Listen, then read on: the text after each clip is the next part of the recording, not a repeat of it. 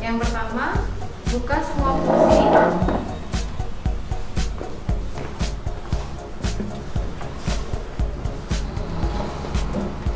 Kegiatan ini dilakukan harus searah dengan jarum jam.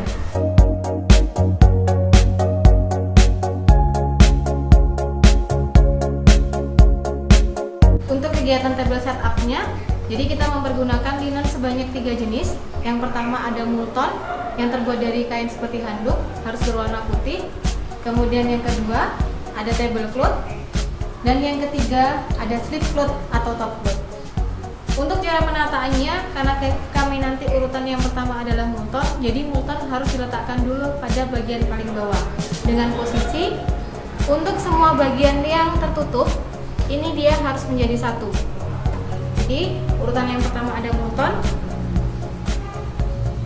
tablecloth, dan yang ketiga adalah slip cloth.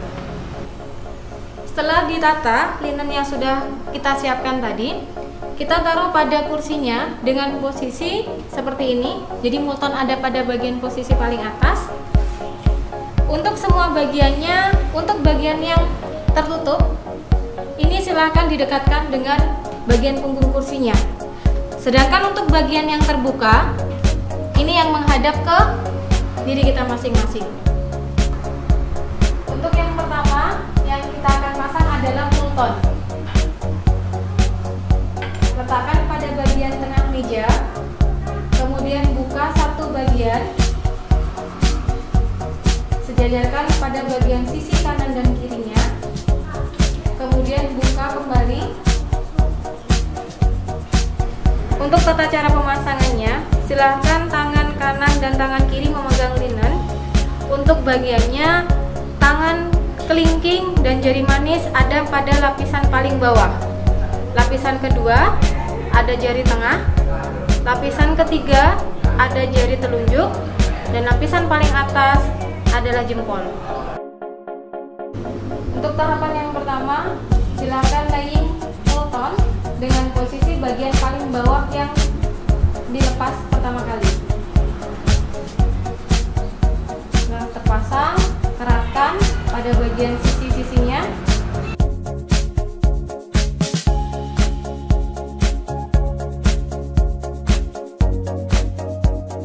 Kemudian tarik untuk bagian kedua dan ketiga. Langsung rekatkan kembali pada sisi meja yang terakhir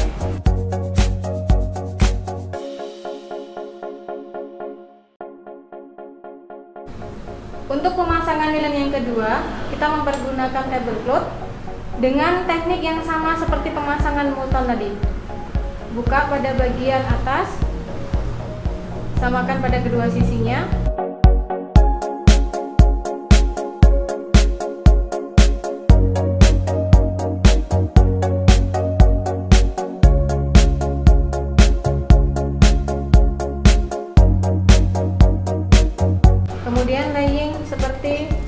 cara pemasangan multon tunggu sampai semua sisi rapi baru kemudian tarik ke belakang.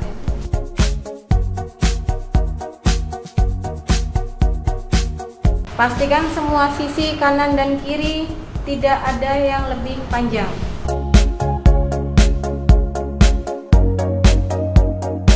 Untuk pemasangan yang terakhir, kami mempergunakan slip cloth dengan teknik masih sama pemasangannya seperti multon dan tablecloth, tapi pemasangannya ada pada bagian ujung meja. Buka kedua sisinya.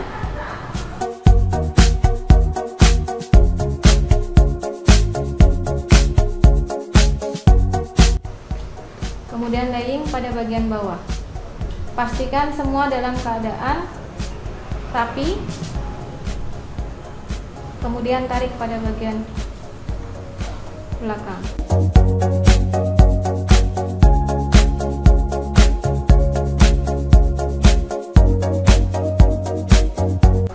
Setelah semua linen terpasang kembalikan kursi pada tempat seperti semula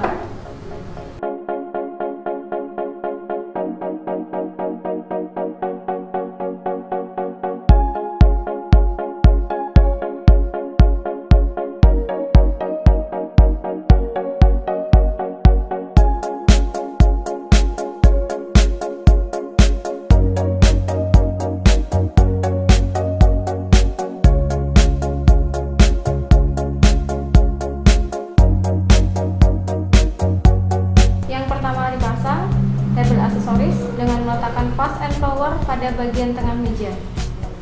Kedua, table number dengan posisi menghadap ke pintu untuk menandakan tamu lebih mudah untuk mencari mejanya. Yang ketiga, salt and pepper shaker silakan diletakkan pada bagian belakang vase and flower.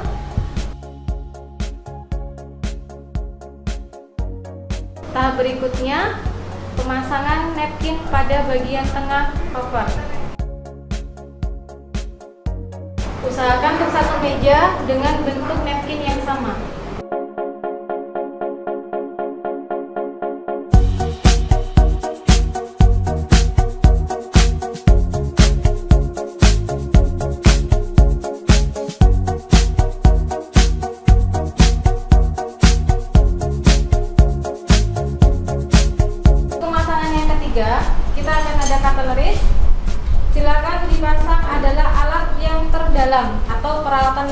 Terdekat dengan napkin.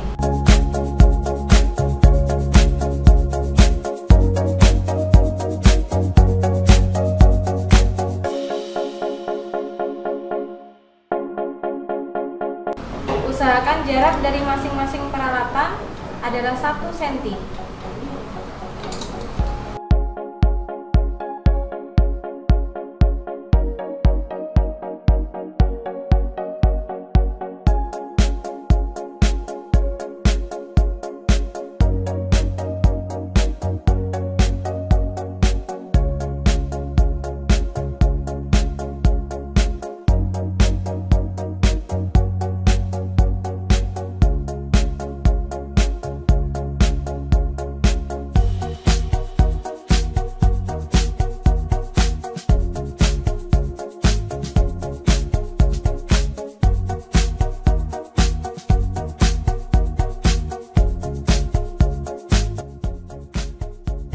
Untuk peralatan yang lain yang terakhir dipasang ada water bag. Pada saat pemasangan ini kita tidak perlu menggunakan tray, tapi langsung menggunakan tangan secara langsung pada saat proses pemasangannya.